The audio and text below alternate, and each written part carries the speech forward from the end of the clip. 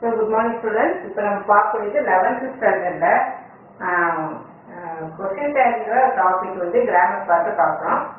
இது ஒரு ஸ்டூடெண்ட் கேட்டிருந்தாங்க. For that I am taking எனக்கு தெரிஞ்ச அளவுக்கு நான் வந்து இதை இருக்கிறேன் கொஸ்டின் டேக் அப்படின்னா first first of all question tag அப்படிங்கிறது ஷார்ட்டாக நம்ம அதை கன்ஃபார்ம் பண்ணிக்கிறதுக்காக கேட்குறோம்.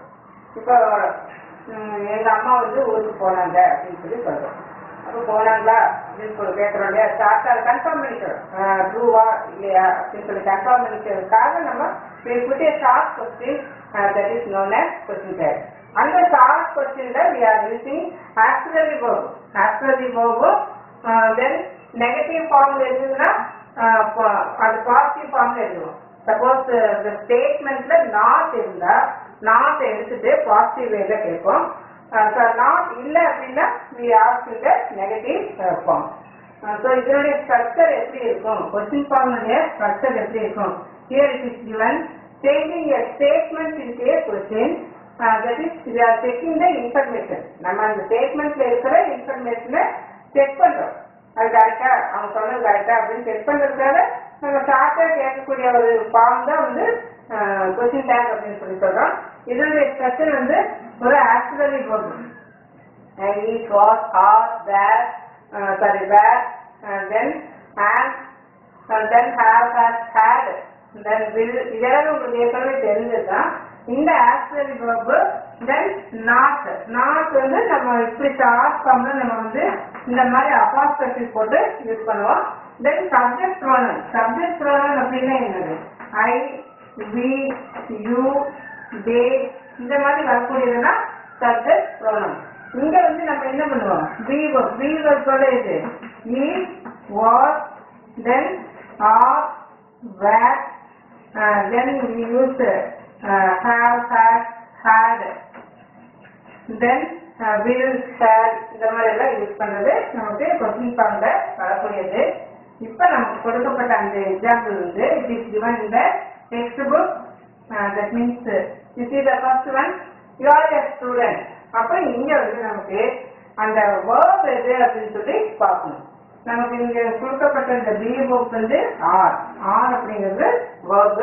அப்ப இதை நம்ம எப்படி ஸ்டார்ட் பண்ணணும் அப்படின்னா இந்த இடத்துல ஆர் அண்ட் யூ இங்க சப்ஜெக்ட் ப்ரோனவுன் வந்து you யூங்கிறது subject pronoun this is subject pronoun then are அப்படிங்கிறது இந்த இடத்துல ஆக்சிலரி verb.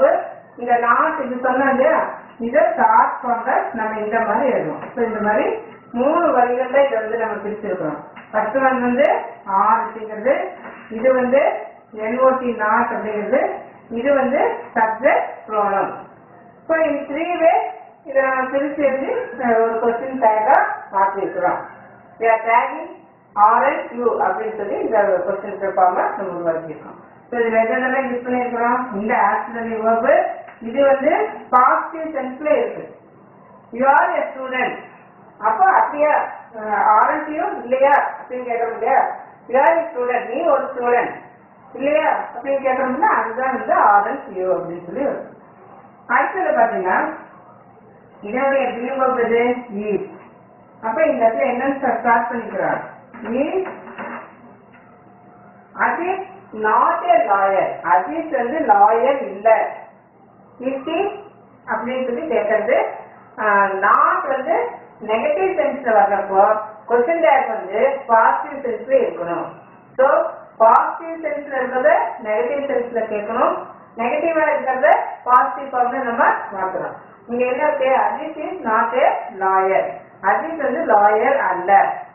அப்படின்னு சொல்றோம் அப்போ இஸ் he இஸ் he ஏன்னா அஜித்னு வர்றப்போ இதனுடைய சப்ஜெக்ட் ப்ராப்ளம் வந்து இட் ரெஃபர்ஸ் டு மேல் அவன் மேல் அப்படிங்கிறதுனால நம்ம என்ன யூஸ் பண்றோம் இஸ் he மறக்காம இந்த கொஸ்டின் மார்க்கை போட்டுக்கணும்.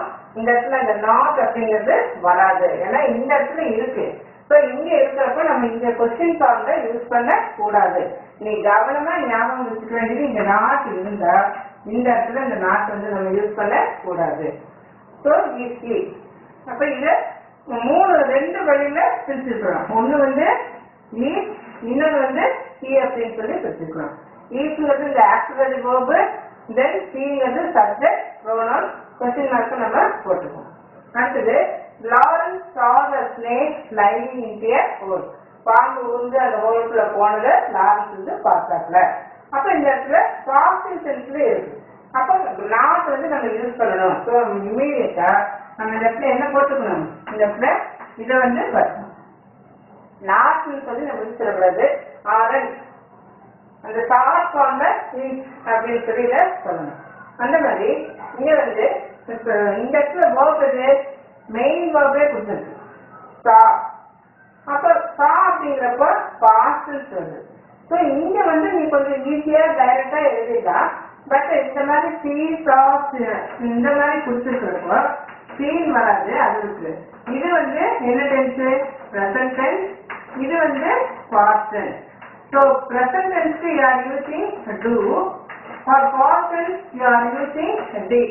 இது கண்டிப்பா நமக்கு ஸ்டூடெண்ட்ஸ் லெவல்ல தெரிஞ்சிருக்கும். அப்ப இங்க past tense அப்படிங்கிறப்போ இங்க நம்ம என்ன யூஸ் பண்ணணும்? டிட் அப்படின்னு சொல்லி யூஸ் பண்ணணும். So didn't did. Not அப்படின்னு படிக்கூடாது how you read didn't start from the in அப்படின்னு சொல்லி படிக்கணும் so didn't இது இது refers to large அப்போ மேல் ஆர் ஃபீமேல் மேல் மேல் அப்படிங்கிறப்ப நம்ம என்ன பண்ணணும்? ஹி அப்படின்னு சொல்லி போட்டு இந்த இடத்துல மறக்காம ஸோ த்ரீ இந்த மூணு பார்ட் இருக்கு. என்னது? டிட் அப்படிங்கிற ஒரு part in then see so இந்த வேர்ப் நமக்கு வந்துட்டு தென் அந்த நெகட்டிவ் சென்ஸ் அந்த ஃபார்ம் வந்துச்சு. தென் சப்ஜெக்ட் ப்ரோனோனும் இந்த இடத்துல இருக்கு. கழிச்சுட்டு ஃபோர் அண்ட் ஃபைவ் அடுத்தது four and five Jyothi attend the class regularly இதெல்லாம் நமக்கு அவசியமே இல்லை. கிளாஸ் ரெகுலர்லி அதெல்லாமே நமக்கு அவசியம் இல்லை. நம்ம மெயினாக பார்க்க வேண்டியது கொஸ்டின் டேக்ல எதுக்குன்னா வேர்பு வந்து பார்க்கணும். இந்த வேர்ப் என்ன? அட்டன் ப்ரோனம் என்ன? சாரி சப்ஜெக்ட் வந்து ஜோதி. அப்போ இது வந்து நமக்கு இதுக்குரிய ஆன்சர் கொஸ்டின் இருக்கு. மறக்காம போட்டுக்க. இது வந்து ஃபீமேல் அப்போ கேர்ள் அப்புறம் அட்டன்ஸ் வருது. அப்ப வேர்ப்ல வந்து எஸ் வருது. வேர்ப்ல எஸ் வந்தா கண்டிப்பா இது எப்படி பிரிக்கணும் நம்ம டஸ்ட் அப்படின்னு சொல்லி எடுக்கணும் இது refers to present tense so present tense வரப்போ டூ எடுக்கணும் டஸ்ட் எடுக்கணும். பட் இந்த வேர்ப்ல எஸ் வந்துருச்சு யூ ஃபீல் ஹாப்பி ஏன்னா கொஸ்டின்ல நமக்கு எஸ் வரப்போ உடனே மிஸ் சொல்லியிருப்பாங்க. எஸ்னா டஸ்ட் போடும் அப்படின்னு சொல்லியிருப்பாங்க. ஸோ இந்த இடத்துல நம்ம என்னன்னு பார்த்துக்கணும். டஸ்ட் அப்படின்னு போட்டு இந்த இடத்துல நாட் இருக்கான்னு பாரு. இல்லை. அப்ப உடனே என்ன இருக்கணும் டசன் இது வந்து ப்ரோனம் என்ன இருக்கணும் சி அப்படின்னு சொல்லி எழுதணும். இது அப்போ கேர்ள் அப்போ சி இருக்கணும் ஸோ இந்த இடத்துல இந்த மூணு இருக்கான்னு பார்த்துக்கிறேன் ஸோ டஸ் டசன் சி இது வந்து மூணு. நான் கமிச்சு last one then Madhav doesn't speak Telugu. அப்போ இந்த இடத்துல இது லோக்கல் இது இந்த நாலு என்ன பண்ணணும்? மறக்காம எடுத்துடணும் எடுத்துட்டு இங்க ஈஸியா இருக்கு இல்லையா? அவங்களே டஸ் அப்படின்னு சொல்லி கொடுத்துட்டாங்க. இங்க சப்ஜெக்ட் வந்து மேல் இல்லையா? ஸோ மேல் அப்படிங்கிறப்ப என்ன எழுதணும் நான் e அப்படின்னு சொல்லி எழுதணும். இந்த இடத்துல கொஸ்டின் மார்க் போட்டுக்க. எப்பவுமே சொல்லியிருக்கிற மூணு ரவுண்ட் போட்டு பார்க்கலாம் அது ரெண்டு. அப்போ இந்த இடத்துல என்ன இருக்கும்? ஒன்று இந்த இடத்துல ரெண்டு அப்படின்னு சொல்லி போட்டுக்கலாம்.